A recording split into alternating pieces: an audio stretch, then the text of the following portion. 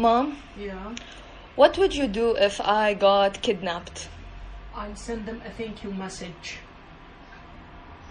You wouldn't do anything to get me back? No, I